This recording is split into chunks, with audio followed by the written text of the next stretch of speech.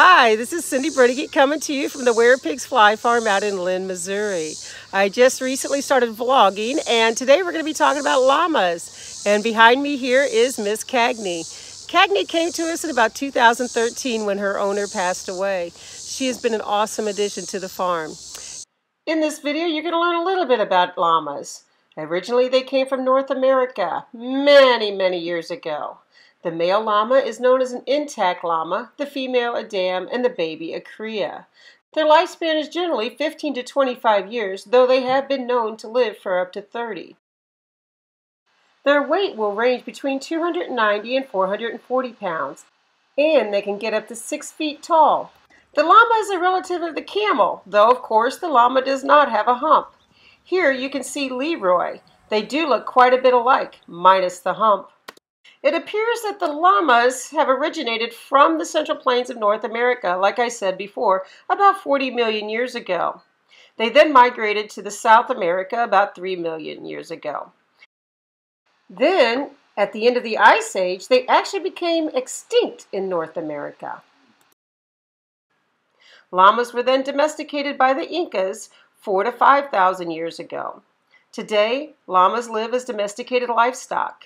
They help us guard animals, and they also make great pets. As you can see, Cagney loves the attention that she gets here at the farm. Llamas come in a variety of colors. There's white, gray, brown, and then of course there are the patterned ones, just like Cagney. Isn't she beautiful? It's usually around late April, early May when our shearer comes out. He takes care of that fleece that weighs her down.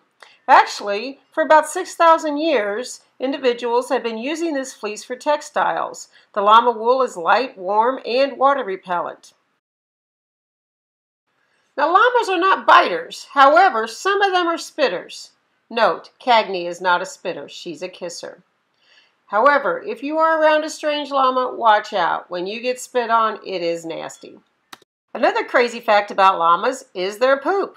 It is almost odorless. And believe it or not, it is actually a truly great eco-friendly fertilizer. Farmers actually refer to the llama manure as llama beans. And they go to the same pile repeatedly, which is kind of nice for cleanup. Okay, well, it looks like we're going to wrap it up.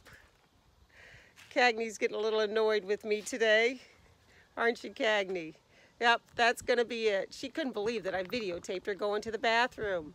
Anyway, hopefully you enjoyed our vlog and uh, you'll hit that subscribe button and like our videos. We've got a lot more animals to talk about and a lot more to teach you. So uh, hopefully we'll see you back again. Have a great day.